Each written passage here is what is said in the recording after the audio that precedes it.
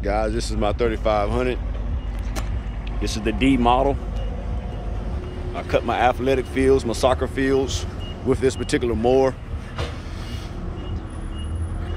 Loading it up on my trailer right now.